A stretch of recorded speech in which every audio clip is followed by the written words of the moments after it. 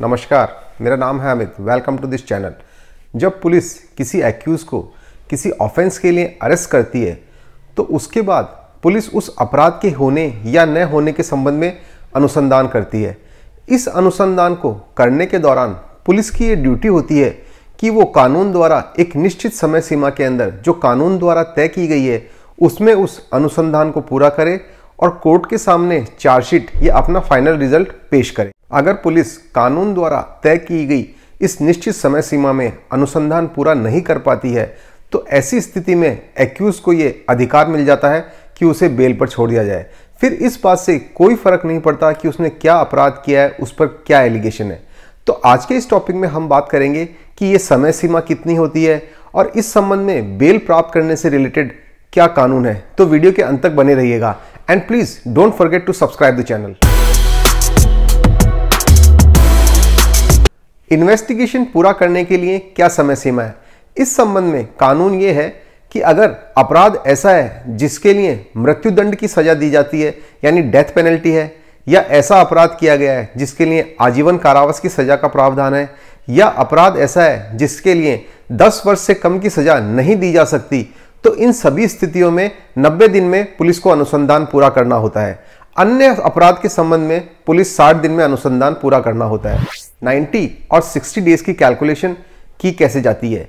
ये टाइम तब स्टार्ट होता है जब एक्यूज को अरेस्ट कर लिया जाता है।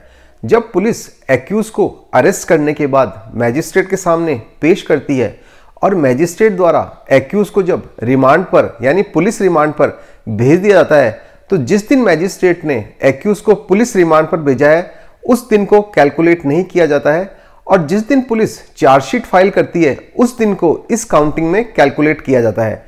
इस चीज़ को हम एक एग्ज़ाम्पल से समझते हैं। मिस्टर ए ने मर्डर किया और पुलिस ने उसे अरेस्ट कर लिया। मर्डर के लिए जो सजा है, वो या तो आजीवन कारावास है या मृत्युदंड है। तो ऐसी स्थिति में पुलिस को 90 डेज़ में इन्वेस्टिगेशन पूरा करना होगा। पुलिस ने एक्यूज को 17 दिसंबर 2021 को गिरफ़्तार किया और मजिस्ट्रेट के सामने पेश किया। मैजिस्ट्रेट ने उस एक्यूज को पुलिस रिमांड के लिए भेज दिया। तो 90 डेज़ की कैलकुलेशन करने के लिए 17 बारह 2021 का जो दिन है, उसे एक्सक्लूड कर दिया जाएगा। अब 90 डेज़ कब पूरे होंगे? 18 दिसंबर 2021 से इसे कैलकुलेट किया जाएगा। 18 दिसंबर 2021 से 31 दिसंबर 2021 तक 14 डेज़ होते हैं। उसके बाद जनवरी 2022 के 31 डेज़, फिर फरवरी 2022 के 28 डेज़, उसके बाद मार्च के 17 डेज़ ऐड करके 17 मार्च 2022 को उस एक्यूज को 90 डेज़ कस्टडी में हो जाएँगे। मीनिंग देयर बाई अगर पुलिस 17 मार्च 2022 तक चार्जशीट फ़ाइल कर देती है तो ऐसी परिस्थिति में एक्यूज को बेल का राइट एक्रू नहीं होगा।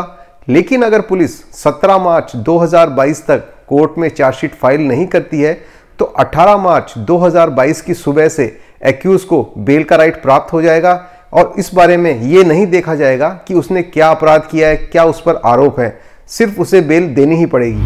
वैसे तो सभी ऑफेंसेस के लिए चार्जशीट फ़ाइल करने की टाइम लिमिट 60 डेज़ और 90 डेज़ है। लेकिन कुछ ऐसे स्पेशल एक्ट्स भी हैं जिसमें इस टाइम को बढ़ा दिया गया है। इसी तरह का एक एक्ट है एनडीपीएस एक्ट जो कि ड्रग्स से रिलेटेड ऑफेंस में इंप्लीमेंट किया जाता है। इस एक्ट में कुछ ऑफेंसेस ऐसे बनाए गए हैं जिनके लिए चार्जशीट पेश करने की टाइम लिमिट 180 डेज़ है और लर्नेड मैजिस्ट्रेट से रिक्वेस्ट करके या एप्लीकेशन फ़ाइल करके इस टाइम को एक साल तक एक्सटेंड भी करवाया जा सकता है।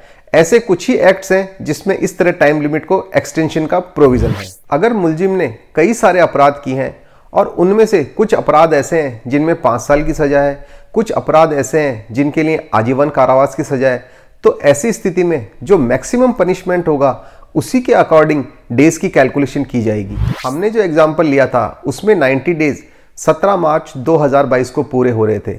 अगर पुलिस ने मिस्टर ए के खिलाफ 17 मार्च 2022 को चार्जशीट फ़ाइल नहीं की तो क्या 18 मार्च 2022 को कोर्ट उसे अपने आप बेल दे देगा? ऐसा बिल्कुल भी नहीं है। कोर्ट से बेल लेने के लिए बेल एप्लीकेशन फ़ाइल करनी होती है और उसमें ये स्पेसिफिक मेंशन करना होता है कि तय लिमिट निकल चुकी है और अब एक्यूज बेल बॉन्ड या शॉर्टी जो भी कोर्ट इम्पोज करना चाहे, वो पेश करने के लिए तैयार है, तभी उसे बेल दी जा सकती है। अगर एक्यूज ने बेल एप्लीकेशन फ़ाइल नहीं की और उधर पुलिस ने नेक्स्ट डे भी अगर चार्जशीट फ़ाइल कर दी तो ऐसी स्थिति में मिस्टर ए का बेल का राइट सीज हो जाएगा, फिर उसे इस प्रोविज़न के तहत बेल नहीं दी जा सकती है। अगर कोर्ट में बेल एप्लीकेशन फ़ाइल कर दी गई हो और उसके बाद पुलिस चार्जशीट कोर्ट में लेकर आती है और चार्जशीट फ़ाइल करती है तो ऐसी परिस्थिति में भी एक्यूज को बेल दी जाएगी। तब इस बात से कोई फ़र्क नहीं पड़ेगा कि उसकी बेल पेंडिंग है या उसे बेल दे दी गई है। तो अगर ऐसी सिचुएशन आ जाए तो कोर्ट खुलने से पहले ही कोर्ट में पहुँच जाना चाहिए और सुबह जैसे ही कोर्ट ओपन हो बेल फ़ाइल कर देनी चाहिए। इस तरह की बेल को डिफ़ॉल्ट बेल या कंपल्सरी बेल कहा जाता है। ये सीआरपीसी के सेक्शन 167 सब क्लॉज 2 में इसके बारे में प्रावधान किया गया। अभी हाल ही में एलगार परिषद के केस में ऑनरेबल बॉम्बे हाई कोर्ट द्वारा इसी प्रोविज़न के तहत एक्यूज को बेल दी गई थी, जिसे ऑनरेबल सुप्रीम कोर्ट ने भी अफर्म किया था। तो डिफ़ॉल्ट बेल के इस टॉपिक को यहीं कंक्लूड करते हैं। जल्द ही मैं आपसे मिलूँगा एक और नए इंटरेस्टिंग लीगल टॉपिक के साथ। अगर आपको आज का ये वीडियो पसंद आया हो तो इसे लाइक करें, शेयर करें और चैनल को सब्सक्राइब करना ना भूलें। यतो धर्मस्ततो जय है